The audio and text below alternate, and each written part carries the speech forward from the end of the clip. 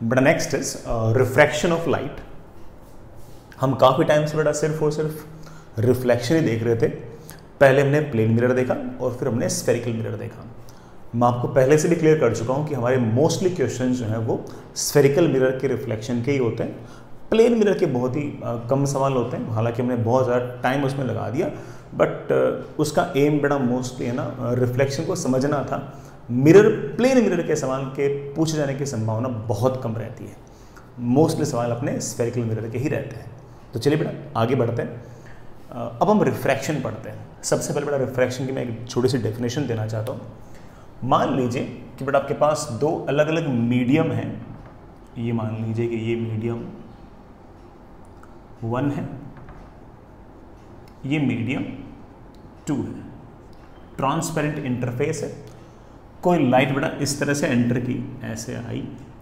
और एंटर करने के बाद बेटा मान लीजिए कि ऐसे निकल गई। जो रे आ रही है बेटा उसे हम इंसिडेंट रे कह सकते हैं। और जो रिफ्रैक्ट होने के बाद गई बेटा उसे हम एक बार के लिए रिफ्रैक्टेड रे कह रहे हैं। आने वाली जो रे होगी, उसकी स्पीड अगर v1 है तो बड़ा इस रिफ्रैक्टेड रे की स्पीड वी वन नहीं होगी। द रीजन इज़ मीडियम अलग अलग तो स्पीड अलग अलग इसी तरह से अगर इसकी वेवलेंथ अगर बेटा लेमडा वन होगी तो इस रिफ्रैक्टेड रे की वेवलेंथ बेटा लेमडा टू होगी मतलब डिफरेंट होगी।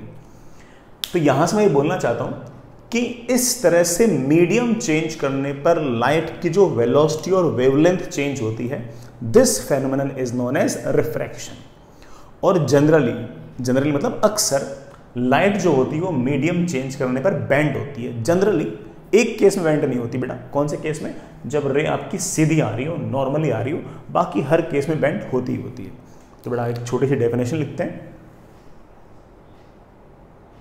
Light changes its velocity and wavelength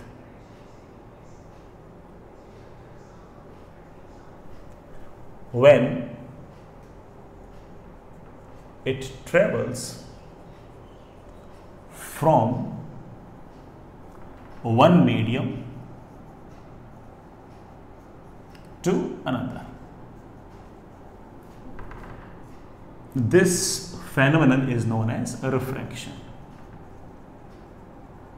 This phenomenon is known as refraction. बेटा इसी को हम रिफ्रैक्शन कहते हैं? फेयर ना लेकिन रिफ्रैक्शन तो कहते हैं, लेकिन बेटा रिफ्रैक्शन में अक्सर ना लाइट की बेंडिंग भी होती है। मैं बार बार बेटा अक्सर या जनरली शब्द इसलिए यूज़ कर रहा हूँ, क्योंकि एक केस में बेंडिंग नहीं होती है। अगर रे नॉर्मली आए तो बेंडिंग नहीं होगी अदरवाइज़ बेटा बेंडिंग तो होगी। Generally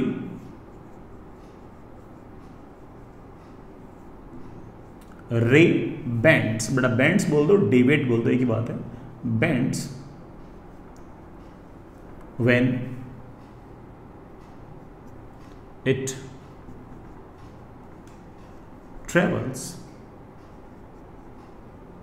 from one medium to another. जब भी एक मीडियम से दूसरे मीडियम में जाएगी तो अक्सर आपकी बेटा रे बैंड होगी अक्सर बैंड होगी। आ, सिर्फ़ एक केस को छोड़कर दैट इज़ नॉर्मल इंसिडेंस बेटा बाकी हमेशा बैंड चलिए बेटा, अगली बात। हमारे पास दो लॉज ऑफ़ रिफ्रैक्शन है। जिस तरह से हमारे पास दो लॉज ऑफ़ रिफ्लेक्शन थे, वैसे से ही बेटा हमारे पास दो लॉज ऑफ़ रिफ्रैक्शन भी है। तो चलिए, उनको भी देखते हैं। हेडिंग लिखिए बेटा। लॉज ऑफ़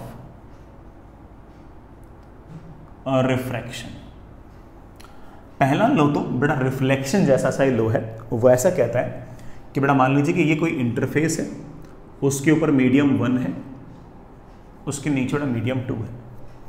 ये इस इंटरफेस का नॉर्मल है नॉर्मल मतलब बेटा परपेंडिकुलर लाइन है, और कोई रे बेटा ऐसे आई है, जो रे आई है, बेटा वो आपकी इंसिडेंट रे है, और रिफ्लेक्ट होने के बाद कोई रे गई है, बेटा ये आपकी रिफ्रैक्टेड रे है। This is your incident ray of course बड़ा दिस इज़ योर नॉर्मल और ये है बड़ा आपकी रिफ्रैक्टेड रे ये है बड़ा आपकी रिफ्रैक्टेड रे इंसिडेंट रे की तरफ़ बड़ा मान लीजिए कि कोई वेक्टर है आई वेक्टर नॉर्मल की तरफ़ बड़ा मान लीजिए कोई वेक्टर है एन वेक्टर और रिफ्रैक्टेड रे की तरफ़ बड़ा मान लीजिए कोई वेक्टर है आर वेक्टर ठीक है? सबसे पहला नोट बड़ा यही है कि इंसिडेंट रे नॉर्मल और रिफ्रेक्टेड रे तीनों के तीनों सेम प्लेन में होंगे। मतलब अगर ये इंसिडेंट रे है, ये नॉर्मल है तो रिफ्रेक्टेड रे भी इसी प्लेन में होगी। ऐसे नहीं हो सकती, ऐसे नहीं हो सकती सेम प्लेन में होंगी। If this is incident ray this is normal refracted ray must lie in this plane like this like this like this refracted ray can not be like this और can not be like this और can not be like this so I just mean to says कि पहला law है कि incident ray refracted ray and normal all must lie in same plane. बेटा सारे के सारे सेम प्लेन में लाई करने चाहिए। तीनों बेटा वेक्टर सेम प्लेन में लाई करने चाहिए। तीनों वेक्टर सेम प्लेन में लाई करने चाहिए। इस बात को मैथमेटिकली ऐसे लिख सकते हैं कि I cross R dot N equals to zero बेटा मैं इसे पहले भी एक्सप्लेन कर चुका हूँ, इसलिए मैं वापस से बोल नहीं रहा हूँ। तीन वेक्टर अगर बेटा इस तरह से सेम प्लेन में है तो I cross R dot N should be zero बेटा इसको हम स्केलर ट्रिपल प्रोडक्ट भी कहते हैं, या बेटा बॉक्स प्रोडक्ट भी कहते हैं। आप लोगों ने बड़ा हल्का फुल्का कभी वेक्टर्स में पढ़ा हो मैथ्स में तो ठीक है। अदरवाइज़ बेटा सिर्फ़ इतना जानना काफ़ी है कि I cross R dot N should be equal to zero चलिए बेटा, हमारा सेकेंड लो क्या है?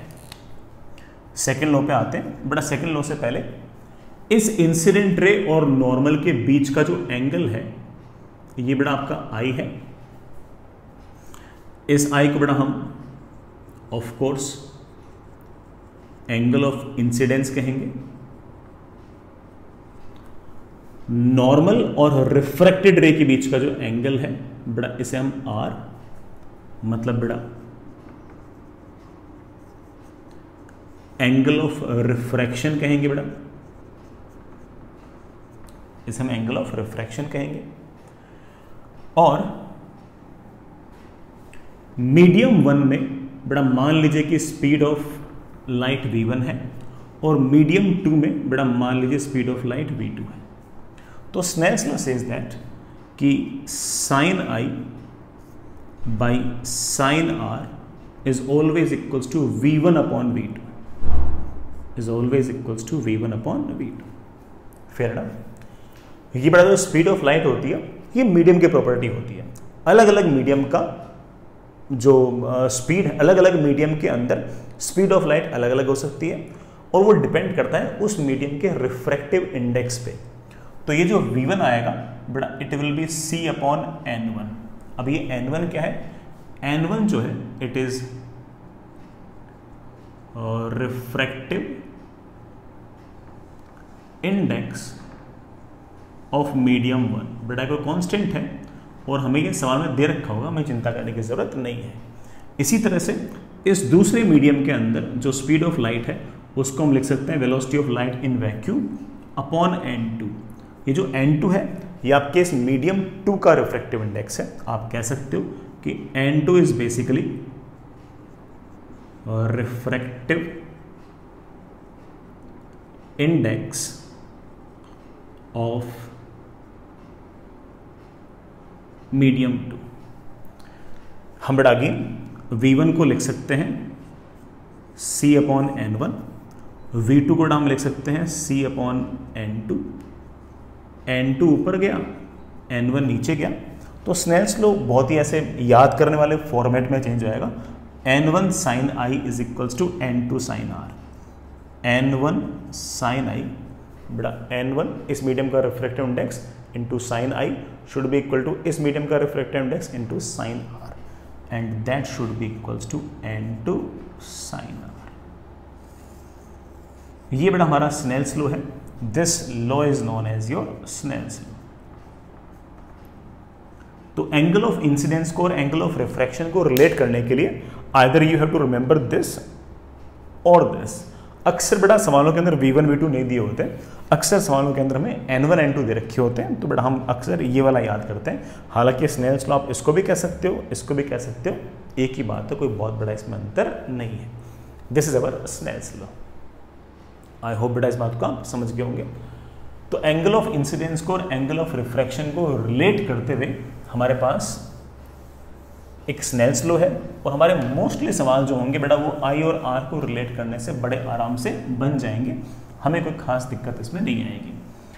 हम इस स्नेल्स लो को, बेटा, आगे जाकर कभी ना कभी वेव ऑप्टिक्स से भी प्रूव कर सकते हैं। कर सकते हैं कि बेटा, कभी ना कभी करेंगे भी शायद अपन। ठीक है? आगे चलिए बेटा। इस स्नेल्स लॉ को, बेटा, मैं एक तरीके से और प्रूव कर सकता हूँ। मतलब मैं वेव ऑप्टिक्स का यूज़ किए बिना प्रूव कर सकता हूँ। और एक छोटा सा प्रिंसिपल है फरमाट प्रिंसिपल हालाँकि मेरे कोर्स में नहीं है, लेकिन बहुत ही आसान सा है, इसलिए मुझे लगता है कि मैं आपको प्रूव कर देता हूँ। मैं पहले इस बात को क्लियर कर दूँ कि बेटा फरमाट प्रिंसिपल हमारे कोर्स में नहीं है, लेकिन है ना, ऐसे जानने में थोड़ा इंटरेस्टिंग लगता है, इसलिए आप उसको हल्का सा देख सकते हो। तो एक बड़ा छोटी सी हेडिंग लिखें बड़ा ज़्यादा टाइम नहीं लूँगा आप लोगों का। That is proof of Snell's law. बड़ा मैं इसको फेरमार्ट प्रिंसिपल से प्रूव कर रहा हूँ। और फेरमार्ट प्रिंसिपल ये कहता है कि लाइट को एक जगह से दूसरी जगह अगर जाना हो तो लाइट हमेशा उस पाथ को चुनती है जिस पाथ के अलोंग उसे सबसे कम टाइम लगता है एक जगह से दूसरी जगह तक जाने में। तो मैं एक बार इस बात को स्टेट भी कर देता हूँ बेटा लिख भी देता हूँ। Light will follow the path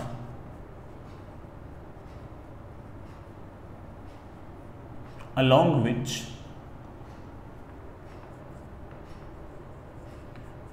time taken is least. बेटा, जिस रास्ते के अलोंग लाइट को एक जगह से दूसरी जगह तक ट्रेवल करने में सबसे कम समय लगे लाइट हमेशा ही बेटा उस पाथ को फॉलो करेगी। चलिए बेटा, कैसे प्रूव कर सकते हैं? अभी देखते हैं। मान लीजिए बेटा, आपके पास कोई मीडियम है, ऐसे, ये इंटरफेस है बेटा मतलब बीच का पार्टीशन है, इसके ऊपर मीडियम वन इसके नीचे मीडियम टू यहाँ पर speed of light V one बड़ा मैं उसे लिख दूँ C upon N one N one है बेटा आपके इस मीडियम का रिफ्रैक्टिव इंडेक्स ये मीडियम टू इसमें स्पीड ऑफ़ लाइट है बेटा वी टू बड़ा वो है C upon N two N two हो गया इस मीडियम टू का रिफ्रैक्टिव इंडेक्स लाइट को इस ए पॉइंट से चलते चलते बड़ा मान लीजिए कि इस बी पॉइंट पर आना है। ठीक है यहाँ से बड़ा मैंने एक परपेंडिकुलर खींचा। दिस परपेंडिकुलर इज़ लेट्स बड़ा सी बी पॉइंट से बड़ा मैंने इस इंटरफेस पे एक परपेंडिकुलर खींचा। लेट्स बड़ा दिस पॉइंट इज़ डी तो बेटा आपका है ना ए पॉइंट और बी पॉइंट फिक्स है तो ऑफ़ कोर्स बेटा आपका सी पॉइंट और डी पॉइंट भी फिक्स है। अब लाइट को बड़ा ए से बी तक आना है। लाइट बेटा यू आकर ऐसे भी आ सकती है। लाइट यूँ आकर ऐसे भी आ सकती है। लाइट यूँ आकर ऐसे भी आ सकता है। जिस रास्ते से जाएगी, उस रास्ते में टाइम सबसे कम होना चाहिए। तो हमने ऐसा मान लिया कि लेट से लाइट पहले यूँ गई स्ट्रेट लाइन के लॉन्ग और जैसे इंटरफेस चेंज हुआ, उसके बाद लाइट ऐसे चली फेयर इनफ ये वाला एंगल मैंने एक बार के लिए आई बोल दिया तो बड़ा ये वाला एंगल 90 माइनस आई तो ये वाला एंगल फिर से आपका आई बेटा मैंने इस एंगल को एक बार के लिए आर बोल दिया तो ये 90 माइनस आर तो ये वाला एंगल बेटा फिर से कितना आ गया? आर बेटा जी, ये वाले डिस्टेंस मैंने एक बार के लिए एक्स बोल दी है एक्स बेटा मुझे पता नहीं, निकालना पड़ेगा। एक्स इस तरह से चूज़ करेगी ये लाइट कि बेटा उसको एक जगह से दूसरी जगह तक मतलब ए पॉइंट से बी पॉइंट तक जाने में टाइम सबसे कम लगे। तो अगर ये डिस्टेंस आपके पास एक्स है तो मेरे प्यारे बच्चों, ये डिस्टेंस आपके पास आएगी सी डी माइनस एक्स ठीक है अब देखना। ये डिस्टेंस है ए सी ये डिस्टेंस है एक्स तो ये डिस्टेंस हो गई रूट ऑफ़ बेटा बोलना। ए सी का स्क्वायर प्लस एक्स का स्क्वायर। बेटा ये डिस्टेंस बोलना कितनी है? बड़ा ये डिस्टेंस है बी डी और ये है सी डी माइनस एक्स तो ये डिस्टेंस है रूट ऑफ़ बी डी का स्क्वायर प्लस बेटा ये वाला distance C D minus X का होल स्क्वायर हमें टाइम निकालना है कि इस लाइट को यहाँ से यहाँ तक आने में टाइम कितना लगेगा? बड़ा टाइम लगेगा पहले यहाँ से यहाँ तक का टाइम फिर यहाँ से यहाँ तक का टाइम यहाँ से यहाँ तक के टाइम को लिख दिया है टी वन और यहाँ से यहाँ तक के टाइम को लिख दिया टी टू बेटा पहले टी वन लिखो। टी वन आएगा। ओ सॉरी टी वन तो लिखना है। टी वन आएगा। ये डिस्टेंस बड़ा डिस्टेंस कितनी है? रूट ऑफ़ ए सी का square plus X square divide by यहाँ पर लाइट की स्पीड कितनी है? तो मेरे बच्चे बोलेंगे, सर, यहाँ पर लाइट की स्पीड है C upon N one plus बेटा, यहाँ से यहाँ तक आने का टाइम कितना है? तो आप बोलोगे, सर, ये वाला distance that is root of बड़ा बोलना बी डी का square plus C D minus X का होल स्क्वायर अपॉन बड़ा जी, यहाँ पर स्पीड कितनी है? मेरे ख्याल से स्पीड है सी अपॉन एन ये हमारे पास टाइम आ गया। And we know it very well कि हमारा जो टाइम है, वो as a function of X आया है। वो as a function of X आया है। अलग अलग एक्स के लिए टाइम की वैल्यू अलग अलग आएगी। अलग अलग बाकी तो फिक्स है। ए सी फिक्स है बी डी फिक्स है सी डी फिक्स है एन फिक्स है सॉरी एन वन फिक्स है एन टू फिक्स है सी फिक्स है। अलग अलग एक्स के लिए टाइम अलग अलग आएगा। बेटा रे यू जाके आएगी टाइम कुछ और होगा। रे यू जाके आएगी टाइम कुछ और होगा। रे यू जाएगी टाइम कुछ और होगा। तो अलग अलग एक्स के लिए टाइम अलग अलग होगा। मुझे वो वाला एक्स चूज़ करना है जिस एक्स के लिए टाइम सबसे लीस्ट हो। तो आप कहोगे, सर बेसिकली यहाँ पर टाइम जो है वो as a function of X है और इन यहाँ से यहाँ तक आने के हज़ारों करोड़ों अरबों खरबों रास्ते हो सकते हैं। उन सारे के सारे रास्तों में से लाइट उस रास्ते को चूज़ करेगी, उस पाथ को चूज़ करेगी, जिसके अलोंग उसे एक जगह से दूसरी जगह तक आने में टाइम सबसे कम लग रहा है। ठीक है? And you know it very well उसके लिए हम क्या करते हैं? मेरे बच्चे बोलेंगे, सर, उसके लिए हम ये करते हैं। बेटा बताओ क्या करते हो? अगर आपको मिनिमम टाइम चाहिए तो मेरे बच्चे वहाँ से D T by D X निकाल लो एंड इक्वल टू ज़ीरो कर दो। करता हूँ बेटा। एन वन ऊपर आएगा। तो एन वन को तो ऊपर लिख लिया, नीचे बेटा सी है इसको डिफ्रेंशिएट करना है एक्स के रेस्पेक्ट में। अभी करता हूँ बेटा, आपको हल्का फुल्का चेन रूल आता होगा, मेरा काम चल जाएगा। A C square plus X square की पावर हाफ़ है। तो पहले बेटा हाफ़ को तो ऐसे कर लो, और मेरे पास आ गया ए सी का स्क्वायर प्लस एक्स का स्क्वायर की पावर माइनस हाफ़ खत्म नहीं हुआ बेटा। चेन रूल में हम अंदर वाले को डिफ्रेंशिएट करते हैं। अंदर वाले में बेटा ए सी का स्क्वायर तो कॉन्स्टेंट है। एक्स स्क्वायर का डिफरेंशियल एवरीवन नोज़ बेटा क्या आएगा? टू एक्स प्लस अब बेटा ये एन टू ऊपर आ जाएगा सी नीचे आ जाएगा। बेटा एन टू ऊपर आ गया सी नीचे आ गया। बेटा वो रूट के अंदर टर्म है, उसको एक्स के रेस्पेक्ट में डिफ्रेंशिएट करना है। अभी करते हैं। पहले बड़ा, वो पावर हाफ़ लगा रखिए, उसको नीचे लेके आ जाओ। और आपके पास आ गया बी डी का square plus C D minus X का होल स्क्वायर की पावर बेटा हाफ़ खत्म नहीं हुआ बेटा। अब अंदर वाले का डिफ्रेंशिएशन बी डी का स्क्वायर कांस्टेंट है, उसका डिफरेंशियल ज़ीरो और इसका डिफरेंशियल आएगा बेटा। इसका डिफरेंशियल क्या आएगा? टू टाइम्स बेटा टू तो आ गया नीचे। Into C D minus X खत्म नहीं हुआ बेटा। अरे बेटा, ये डिफरेंशियल आपको आना चाहिए। बेटा, अगर डिफरेंशियल नहीं आता तो बेटा पहले उसको सीखो। इंटू माइनस वन ये बेटा माइनस वन किस बात का? ये जो एक्स है, इसका डिफरेंशन आएगा वन बाहर साइन लगा रखा है minus and it should be equal to zero और यहाँ बेटा आप जगह चाहिए थोड़ी सी लिखने के लिए। मैं यहाँ लिख देता हूँ। थोड़ा सा चाहिए बस। काम चल जाएगा बस। हो गया हो गया बेटा टू से टू कैंसिल टू से बेटा टू कैंसिल हम बड़े आराम से लिख सकते हैं। बेटा सी से c cancel n one x upon, बेटा इसे नीचे ले आऊँगा, upon under root of a c का square plus x square is equal to. बेटा ज़ीरो था तो मैं इसको इधर ले आया, उसको उधर गया। और मेरे पास उधर आ गया सी डी माइनस एक्स, ठीक है बेटा? एन टू ऊपर है। और नीचे बेटा क्या आ गया? बी डी का square plus c d minus x का होल स्क्वायर। पूरे का रूट। अब देखो बेटा क्या लिखा हुआ है। X upon under of a c का स्क्वायर प्लस एक्स का square x upon under of a c का square plus x square I think it is perpendicular upon hypotenuse बेटा तो साइन आई आ गया। तो आप कह सकते हो कि सर ये लिखा हुआ है एन वन साइन आई अच्छी बात बेटा। That is equals to n two बेटा देखो क्या लिखा हुआ है। C d minus x upon under root of b d का square plus c d minus x का होल स्क्वायर तो आप कह सकते हो कि तो सर साइन आर लिखा हुआ है तो that comes out to be sine r तो n one sine i is equals to n two sine r तो हम इस तरह से फर्माट प्रिंसिपल से इस बात को बड़े आराम से प्रूव कर सकते थे। हमने कर भी दिया। आई होप आपको ठीक भी लगा होगा अच्छा लगा होगा। हो सकता है बट ऐसे कभी ना कभी कोई बढ़िया यूज़ आपको मिल जाए। इसलिए बेटा मैंने बताया है। बाकी बेटा ठीक है है ना? डेरिवेशन तो मैंने ऐसे बता दी। मुझे लगा कि आप लोगों को हल्का फुल्का इंटरेस्ट रहेगा। हालाँकि इसमें मैथ्स ठीक ठाक थी बट मुझे ऐसा लगा बेटा आप लोगों को, है ना, इतनी मैथ्स तो आती है है ना? डिफ्रेंशिएशन इतना तो हम लोगों को आता ही है। आगे चलिए बेटा। नेक्स्ट इज़ नेक्स्ट इज़ सुनेगा बेटा। कुछ केसेस हैं। कुछ स्पेशल केसेस हैं। सबसे पहला है नॉर्मल इंसिडेंस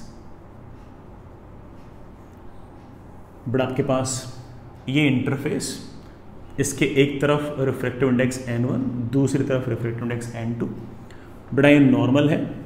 और नॉर्मल इंसिडेंस का अर्थ है कि लाइट को हमने नॉर्मल के अलोंग फेंक दिया है। लाइट को अगर नॉर्मल के अलोंग फेंक दिया है तो इंसिडेंट रे और नॉर्मल के बीच में एंगल हो गया है zero.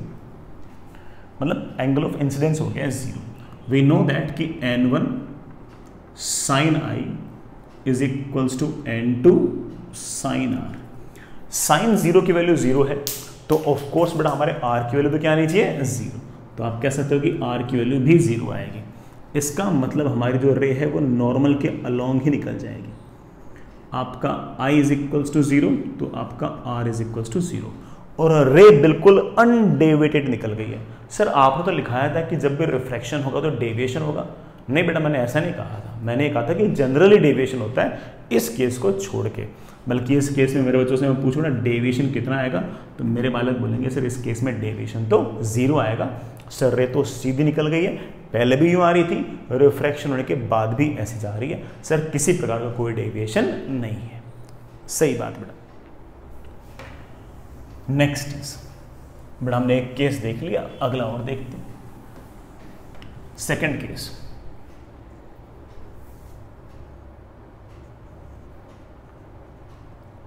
denser to rare denser medium से अगर रेयर मीडियम में जा रहे हो तो बड़ा उस केस में आ, क्या डेविएशन होगा किधर रे मुड़ेगी इस बात को मलका सा देखते बेटा अच्छा लगेगा सुनना। बड़ा मान लीजिए कि ये इंटरफेस है। इसके एक तरफ़ डेंसर मीडियम है बड़ा इसको एनडी लिख दिया इधर रेयर मीडियम है। डेंसर मीडियम उसको बोलते हैं जिसका रिफ्लेक्टिव इंडेक्स ज़्यादा हो। तो अगर ये डेंसर मीडियम है और अगर ये रेरर मीडियम है, बड़ा, उस केस में ऑब्वियस बात है कि एन डी की वैल्यू बड़ी होगी और एन आर की वैल्यू छोटी होगी। और ये रहा आपका नॉर्मल कोई रे है बेटा ऐसे आई और ये एंगल ऑफ़ इंसिडेंस आपका आई ये रे बेटा ऐसे निकल जानी चाहिए थी। जानी ऐसे चाहिए थी, अगर जाएगी नहीं। सर, कैसे जाएगी? किधर जाएगी? तो उसके लिए मुझे एंगल ऑफ़ रिफ्रैक्शन निकालना पड़ेगा।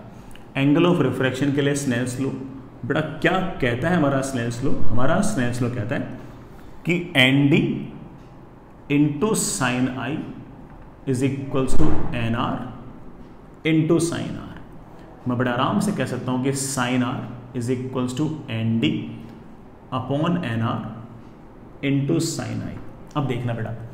ये n d upon n r ये जो फ्रैक्शन लिखा हुआ है, ये ऑफ़ कोर्स वन से बड़ा है।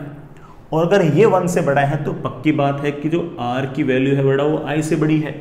और आर की वैल्यू अगर आई से बड़ी है, इसका मतलब हमारी जो रे है, वो रिफ्रैक्शन के बाद बड़ा, यूँ मुड़ जाएगी। और ये वाला एंगल आपके पास जाएगा आर ये वाला एंगल आई है तो बड़ा ये वाला एंगल भी आई हो गया। तो हमारी रे इस तरफ़ मुड़ गई है और ये डेविएशन आ गया। बड़ा सर चेक करना डेविएशन कितना आ गया?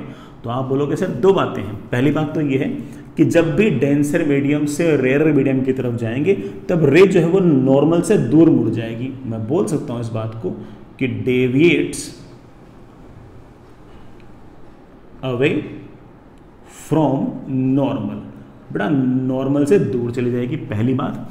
और दूसरी बात ये कि बेटा अगर ये वाला एंगल आई तो बेटा ये वाला angle i. Total angle r है, ये वाला एंगल आई है तो ये वाला एंगल आ गया तेरे पास आर माइनस आई तो डेविएशन की वैल्यू बेटा तेरे पास आ गई आर माइनस आई आर हम स्नेल्स में से निकाल लेंगे आई हमें सवाल में दे रखा होगा तो हम डेविएशन भी बड़े आराम से निकाल लेंगे, लिख लेंगे, कोई दिक्कत नहीं आएगी। तो यहाँ पर जो हमने काम की बात याद की, बेटा, वो ये है कि जब भी डेंसर मीडियम से रेयर मीडियम की तरफ़ रिफ्रैक्शन होगा then the ray will move away from the normal ray जो होगी, बेटा नॉर्मल से दूर जाएगी। इनफ बड़ा आपका third case that is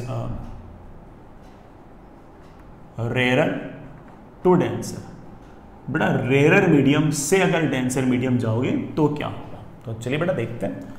अगर रेयर से डेंसर गए तो क्या होगा? देखते हैं। बेटा जो भी होगा हम उसे याद भी रख लेंगे। हमारे काम तो आते ही रहते हैं, सब बातें। आपके पास इस तरह का अरेंजमेंट है कि बेटा ये कोई इंटरफेस इसके एक तरफ़ मीडियम वन एक तरफ़ मीडियम टू ये मेरे बच्चे आपका नॉर्मल इस तरफ़ आपका रेयर मीडियम है एनआर और इस तरफ़ आपका डेंसर मीडियम है एन और रेयर और डेंसर का सीधा हिसाब ये है कि डेंसर मीडियम में रिफ्रैक्टिव इंडेक्स ज़्यादा होगा और रेयर मीडियम में रिफ्रैक्टिव इंडेक्स कम होगा। तो डेंसर का रिफ्रैक्टिव इंडेक्स ज़्यादा और रेयर का कम। कोई रे बेटा रेयर मीडियम से यूँ आ रही है और उसका ये एंगल ऑफ़ इंसिडेंस है। कुछ ना होता तो ये रे यूँ निकल जाती। ऐसे जाती बेटा और क्या है? लेकिन हम जानते हैं कि मीडियम चेंज हुआ है तो रे मुड़ सकती है। लेट से किधर मुड़ेगी चेक करते हैं।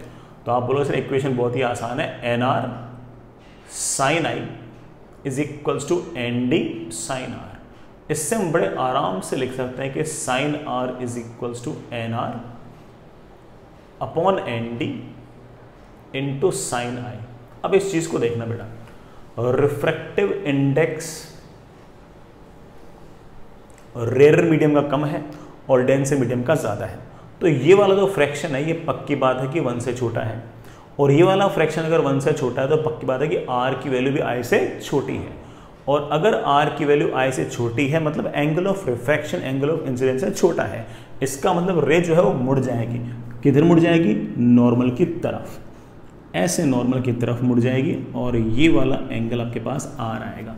ये एंगल आई था तो ये एंगल आई ये आपका आर तो रे मुड़ गई है इस तरफ़। कोई मुझसे पूछे कि, सर, डेविएशन कितना है? तो मैं बोलूँगा कि, बेटा, ये आई है। तो ये आई है, ये आर है तो डेविएशन आ गया आई माइनस आर। सर, पहले तो आर माइनस आई आया था और अब आई माइनस आर आ गया। हाँ बड़ा सही बात है। बड़े में से छोटा माइनस कर दो। इस बार आई बड़ा है और आर छोटा है तो डेविएशन आ गया आई माइनस आर। तब बेटा आर बड़ा था और आई छोटा था तो आ गया था are minus I.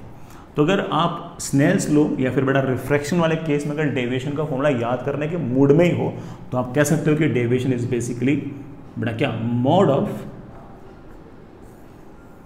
i minus r deviation जो है, उसको आप याद कर सकते हो कि it is simply mod of i minus r तो बड़ा ये सिंपल हमारा स्नेल्स लो है। इसमें तीन केस हमारे बेसिक हैं और बाकी हम सारी कहानी जो है, वो इन केसेस के इर्द गिर्द बड़े आराम से बना सकते हैं। कोई दिक्कत इसमें हमें नहीं आएगी। तो चलिए, आगे चलते हैं बेटा। आगे चलते हैं। नेक्स्ट इज़ आगे बढ़िए बेटा। मैं एक सवाल पूछ रहा हूँ। बेटा, यहाँ पर आपके पास वैक्यूम या एयर मान लीजिए। बेटा, यहाँ पे आपके पास वाटर है।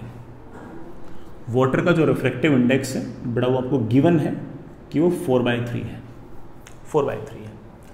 आपके पास बड़ा कोई ये नॉर्मल और कोई रे है, बेटा ऐसे आ रही है, ऐसे।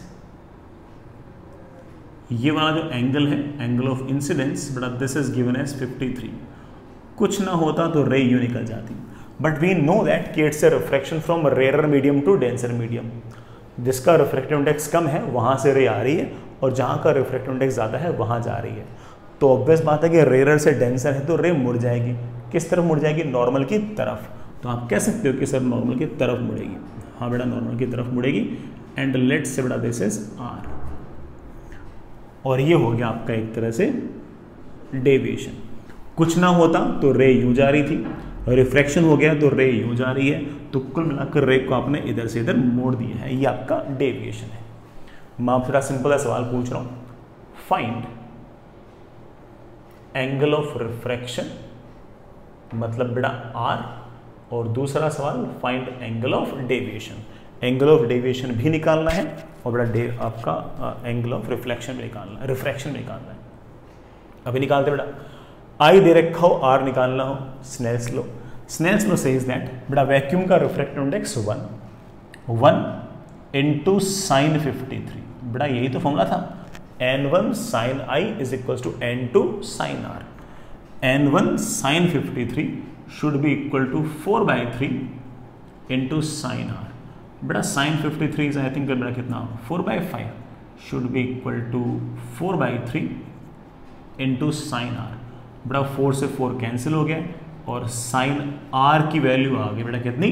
Three by five sine r की वैल्यू बेटा अगर थ्री बाई फाइव आ गई तो हमारे पास आर की वैल्यू आ गई, बेटा, कितनी? थर्टी सेवन डिग्री रही बात डेविएशन की?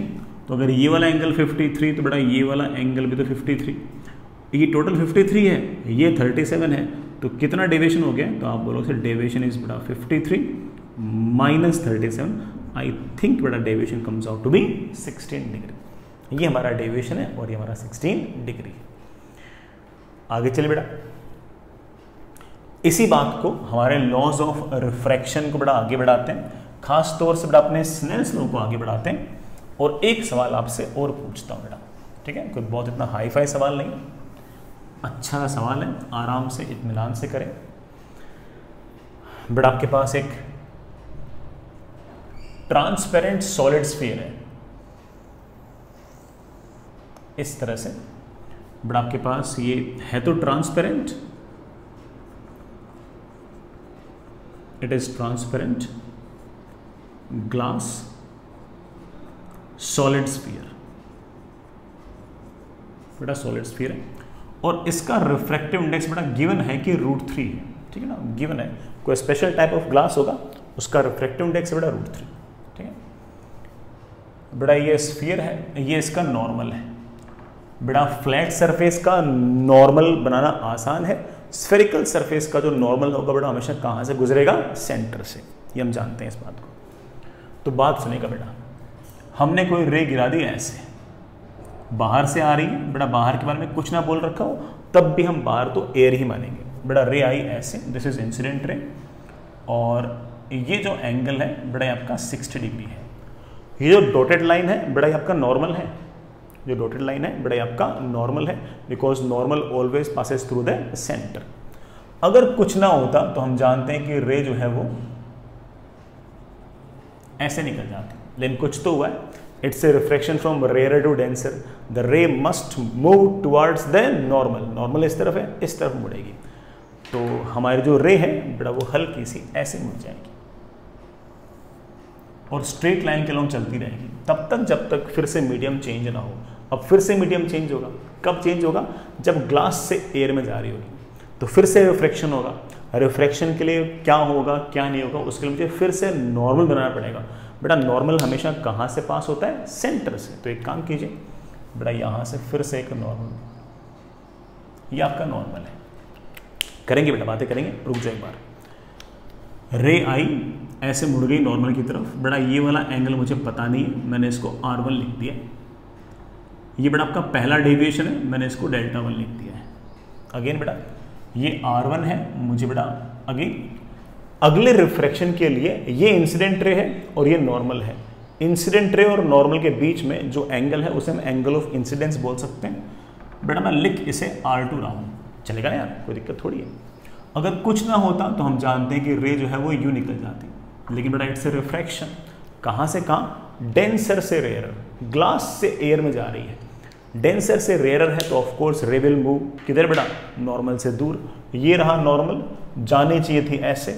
डेंसर से रेयर है रे मुड़ जाएगी नॉर्मल से दूर तो रे निकल जाएगी ऐसे। तो फाइनली जो रे है, बेटा वो ये निकल गई। फाइनली जो रे बाहर निकली है, बेटा मैं उसे एक बार के लिए एमरजेंट रे बोल रहा हूँ बेटा। और इस एमरजेंट रे ने नॉर्मल के साथ जो एंगल बनाया है, बेटा उसमें एक बार के लिए ई e बोल दिया है।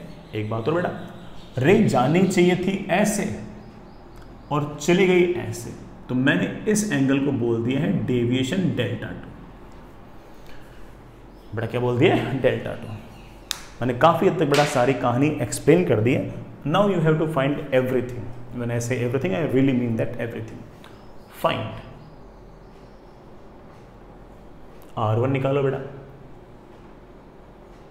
डेल्टा वन निकालो। आर टू निकालिए, ई निकालिए, डेल्टा टू निकाल लीजिए और नेट डेविएशन निकाल लीजिए। इतने काम बेटा मेरे पास, इतने सारे काम हैं। आर वन निकालना है डेल्टा वन निकालना है आर टू निकालना है ई निकालना है डेल्टा टू निकालना है अभी निकालते हैं। सर, ये तो स्फेरिकल सरफेस आ गई। सर, आपने तो जो स्नेल्स लो बताया, सर, वो फ्लैट सरफेस के लिए बताया। नहीं बेटा, मैंने बिल्कुल नहीं कहा कि स्नेल्स लो फ्लैट सरफेस के लिए ही है। हाँ हालाँकि डायग्राम मैंने ऐसे फ्लैट सरफेस वाले बनाए थे, लेकिन स्नेल्स लो तो हर तरह की सरफेस के लिए वैलिड है, चाहे स्फेरिकल सरफेस हो पैराबोलिक सरफेस हो, बस आपको नॉर्मल बनाना आना चाहिए। आप बोले, सर, कोई दिक्कत नहीं है। स्फेरिकल सरफेस के नॉर्मल हम लोगों को बनाने आते हैं, कोई इश्यू ही नहीं हमने पहले ही बना रखे हैं स्फेरिकल सरफेस वगैरह में बना रखे स्फेरिकल मिरर में बना रखे हैं। चलिए बेटा, मैं फिर से बोलता हूँ, ये आपकी इंसिडेंट रे कुछ ना होता तो रे यू निकल जाती। ये आपका नॉर्मल नॉर्मल और इंसिडेंट रे के बीच का जो एंगल है, मैं इसे बोल सकता हूँ एक बार के लिए हमारा एंगल ऑफ़ इंसिडेंस लेकिन हम जानते हैं कि ये रिफ्रैक्शन है रेयर से डेंसर तो रे जो है, वो इस नॉर्मल की तरफ़ मुड़ गई है, ऐसे। काश मैं आर वन बता पाऊँ। तो मेरे बच्चे बोलेंगे, सर आर वन बताना तो बहुत आसान है। आपको तो सिर्फ़ और सिर्फ़ स्नेल स्लो लगाना है और स्नेल स्लो लगाते बड़े आराम से हमारा आर वन आ जाएगा। तो चलिए बेटा स्नेल स्लो लगाइए। क्या कहता है स्नेल स्लो बेटा, बाहर तो एयर है तो one into sine sixty is equals to अंदर। अंदर बेटा root three into sine r one बेटा साइन सिक्सटी होता है root three by two that is equals to root three into sine r one बेटा root three root three cancel हमारे पास sine are one की वैल्यू आ गई है हाफ़ और आर वन की बेटा वैल्यू आ गई मेरे पास थर्टी डिग्री। तो हमारा जो आर वन है, बेटा वो हमारा थर्टी डिग्री आ गया। अब रही बात बेटा डेविएशन की। अभी सोच लेते हैं डेविएशन बेटा अगर ये वाला एंगल 60 है तो ये वाला टोटल एंगल 60 हो गया। उसमें से 30 ये हो गया। और अगर 30 ये हो गया तो अपना डेविएशन पहला हो गया 30 डिग्री। डायरेक्शन भी चेक कर लो बेटा, ऐसे ऐसे क्लॉकवाइज ठीक है बेटा? अब आर टू निकालते हैं। आर वन से आर टू किसी स्नेल्स लॉस थोड़ी आएगा, वो तो जोमेट्री से आएगा। यहाँ से यहाँ कोई रिफ्रैक्शन थोड़ी हुआ है सेम मीडियम में जा रहा है तो आर वन से आर टू तो सिर्फ़ और सिर्फ़ एक ही तरीके से निकल सकता है, और वह है ज्योमेट्री सर ज्योमेट्री से कैसे? बेटा ज्योमेट्री से ऐसे कि ये तेरी रेडियस है, ये लेंथ भी तेरी रेडियस है। अब इस ट्राइंगल को देखो। अब इस ट्राइंगल को देखो। ये लेंथ और ये लेंथ सेम है। तो हम कह सकते हैं कि इसके सामने वाला एंगल और इसके सामने वाला एंगल सेम होगा। इस साइड के सामने वाला एंगल है 30 डिग्री तो इस साइड के सामने वाला एंगल भी तो 30 डिग्री तो आप R2 को बड़े आराम से बोल सकते हो सर R2 तो आएगा 30 डिग्री तो R1 से हमने जो R2 निकाला है बेटा वो किसी सिलेंस से निकाला है, वो हमने ज्योमेट्री से निकाला है। आसान काम था। अब अगेन फिर से रिफ्रैक्शन हो रहा है। और इस बार रिफ्रैक्शन बेटा कहाँ से कम? डेंसर से रेयर तो रे जानी चाहिए थी ऐसे। ये नॉर्मल है बेटा। नॉर्मल हमेशा फिर से कहाँ से पास होगा? सेंटर से। रे को जाना चाहिए था ऐसे। नॉर्मल की तरफ़ नहीं मुड़ेगी बेटा। ये तो डेंसर से रेयर है नॉर्मल से दूर मुड़ जाएगी। और ये बेटा आपका एंगल मैंने ई बोल दिया है। और जो फाइनली रे बाहर निकली, मैंने उसको एमरजेंट रे बोल दिया ठीक है, यहाँ तक कोई दिक्कत नहीं है। सर, मुझे फाइनली जो रे निकल रही है, उसका नॉर्मल के साथ एंगल निकालना है। निकालने की बेटा, एक तरह से इस रिफ्रैक्शन के लिए ये एंगल ऑफ़ इंसिडेंस है और ये एंगल ऑफ़ रिफ्रैक्शन है। एंगल ऑफ़ इंसिडेंस गिवन हो और एंगल ऑफ़ रिफ्रैक्शन निकालना हो तो सबसे अच्छा जुगाड़ क्या है? आप बोलो जैसे एक ही तो जुगाड़ है। कौन सा? स्नेल्स लो तो यहाँ से यहाँ स्नेल्स लो लगाइए। आप कहोगे, सर, अंदर का रिफ्रैक्टिव इंडेक्स है root three into sine thirty should be equal to बाहर के लिए वन इंटू साइन ई बेटा साइन थर्टी होता है हाफ़ तो मेरे पास आ गया। Sine e is equals to root three by two बेटा ई की वैल्यू आ गई आपके पास साठ डिग्री। तो ये वाला जो एंगल है बेटा आपके पास आ गया सिक्सटी डिग्री। ये वाला अगर एंगल आपके पास थर्टी है बेटा देखना ये वाला एंगल अगर 30 है तो इसके सामने वाला, ये वाला एंगल कितना आना चाहिए? 30 टोटल एंगल 60 है 30 ये है तो आपका नेक्स्ट ये डेविएशन भी कितना आ गया? 30 आई होप इट्स ओके दोनों डेविएशन आ गए। अब हमसे पूछा नेट डेविएशन क्या आएगा देखो बेटा, पहला डेविएशन है इस तरफ़ 30 डिग्री, अगला डेविएशन है इसी तरफ़ 30 डिग्री तो नेट डेविएशन कितना हो गया 60 डिग्री। आप चाहो थोड़ा नेट डेविएशन डायग्राम में भी दिखा सकते हो। अगर कुछ ना होता, कोई रिफ्रैक्शन रिफ्रैक्शन ना होता तो रे जा रही होती ऐसे। और दोनों रिफ्रैक्शन होने के बाद फाइनल रे जा रही है ऐसे। तो मैं इस रे को पीछे की तरफ़ खींच दूँ खींच दूँ खींच दूँ। अब देखना। कुछ ना होता तो रे जा रही थी ऐसे। और दोनों रिफ्रैक्शन होने के बाद रे जा रही है, ऐसे। तो मेरे ख्याल से हम ऐसा कह सकते हैं कि ये हमारा नेट डेविएशन है, और ये हमने अभी अभी निकाला था delta one plus delta two and I think मेरे बच्चे it comes out to be sixty degree बेटा ये हमारा नेट डेविएशन आ गया। यहाँ पर मेरा मेन एम ये बताना था कि स्नेस लो लगाने के लिए आपको बड़ा कोई खास पंचायत करने की ज़रूरत नहीं कि ना सर वो फ्लैट सरफेस में है, सर ये स्पेरिकल सरफेस आ गई। कैसे भी सरफेस क्यों ना हो, अगर हम नॉर्मल बना सकते हैं तो हम बड़े आराम से उस पर स्नेस लो भी लगा सकते हैं। हमें किसी प्रकार की कोई इसमें इशू नहीं होना चाहिए। I really hope you get the point